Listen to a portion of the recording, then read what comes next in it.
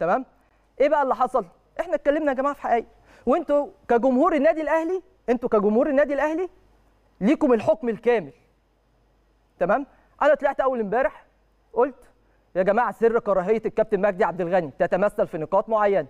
أول نقطة إن الكابتن مجدي عبد الغني بعد ما خلص مشوار احترافه بعد ما خلص مشوار احترافه في البرتغال فكان عامل حسابه إن يرجع في صيف 92 على النادي الأهلي. فبالتالي النادي الأهلي رفض عودته. رفض عودته ليه؟ في التوقيت ده النادي الأهلي لسببين. أول سبب ركز معايا أول سبب بيتعلق بالمستوى الفني. شاف إن الكابتن مجدي خلص كورة خلاص أنا مش محتاجه. والأهلي دايما ومسؤولي على مدار تاريخه بمختلف مجالس الإدارات بيعلو مصلحة النادي الأول. فوق أي شيء. فقال لك لا أنا مش محتاجه. أدي المستوى الفني. رقم اثنين المستوى السلوكي داخل الملعب. اللي بيتمثل في إيه يعني؟ بيتمثل في كثرة الإنذارات في كثرة المشاكل جوه المستطيل الأخضر في كثرة الحصول على إيه؟ على الكروت الحمراء. يا سلام عليكم يا سلام عليكم. دي صورة لاعب المريخ البورسعيدي ولاعب النادي الأهلي السابق الكابتن مجدي عبد الغني. وهو آخر مباراة في تاريخه أو آخر مباراة ليه مع المريخ البورسعيدي بيخسر من المحله 4-0 وبياخد كارت أحمر. لأن سلوكه داخل الملعب بيبقى فيه تجاوز دائم. تمام؟ فأدي حاجة من ضمن الحاجات اللي اتكلمنا فيها أول امبارح والحكم لحضراتكم جمهور للنادي الأهلي بيعي كل كبيرة وصغيرة وعارف مين اللي ضد النادي ومين مع النادي ومين اللي همه مصلحة النادي. تمام؟ أدي نقطة. النقطة الثانية اللي اتكلمت فيها برضه أول امبارح وهي بتتعلق بإيه؟ بتتعلق إن الكابتن مجدي عبد الغني مع مستر مانويل جوزيه لما تولى مهمة النادي الأهلي ومهمة الإدارة الفنية للنادي الأهلي طلب إن هو يكون متواجد في الجهاز الفني مع مستر مانويل بحجة اجابته للغة البرتغالية. فطبعا مسؤولي النادي الأهلي شافوا إن مصلحة الفريق لا تستدعي تواجد الكابتن مجدي عبد الغني. هو كان عايز يبقى موجود كمدير كورة تمام؟ فرفضوا فليه بقى هم رفضوا؟ آدي جزء أو آدي نقطتين من النقاط اللي مؤديين للقاهره للكراهية الكبيرة من الكابتن مجدي عبد الغني تجاه النادي الأهلي ومسؤوليه تمام؟ تعالى لي بقى في النقطة الثالثه ودي أهم نقطة بالنسبة لي.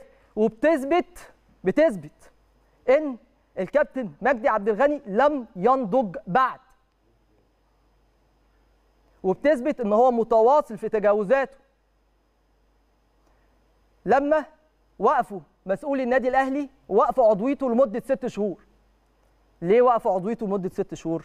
لأنه اتخانق مع أحد المديرين في النادي وتجاوز وتطاول في حقه. هيقول لي بقى إيه؟ أنا ما توقفتش لأ هقول لك اتوقفت. هتقول لي ما حصلش لأ هقول لك حصل اتوقفت ست شهور. تمام؟ دي نقاط اتكلمنا فيها أول امبارح. وبنتكلم في حقائق دون أي تجاوز وهعيد. إحنا ما بنتجاوزش مش عشان إحنا ما بنعرفش نتجاوز لا قلة الأدب مفيش أسهل منها لكن الاحترام هو الصعب. وإحنا مش هنتجاوز عشان دي تربية النادي الأهلي وعشان دي تربية البيت اللي إحنا خرجنا منه. حلو؟ حلو. تعالى لي بقى في نقطة مين؟ حسام عاشور. ونقطة مؤمن زكريا اللي أنا اتكلمت فيها أول إمبارح. أنا ما عنديش مشكلة استضيف حسام عاشور لكن أنا عندي مشكلة في هدفه من استضافة حسام عاشور. ساند حسام عاشور لعيب كان ليه تاريخ في النادي الأهلي ما حدش يقدر ينكر كده ابدا رغم الخلافات ما نقدرش. لكن أنت بتستضيفه الاستثمار خلافه مع النادي الأهلي. بدليل الفيديو اللي ذاعه بيقول له ولايات الأصل عملوا معاك إيه؟ وزعلان إن إحنا بنسرد لك حقائق ده أنت اللي بتقول على النادي الأهلي ولايات الأصل على المسؤولين اللي فيه إن هم ولايات الأصل. وده لا يجوز ولا يصح بما إنك واحد بتقول على نفسك وده أمر واقع عندك تاريخ في النادي الأهلي. فبالنسبة لي موضوع غريب جدا إيه التناقض ده؟ فأنت استضفت الكابتن حسام عاشور ويا رب تسانده وتساعده وربنا يكرمه. لكن سؤالي اللي أنت ما ردتش عليه أنت ليه ما استضفتش مؤمن زكريا؟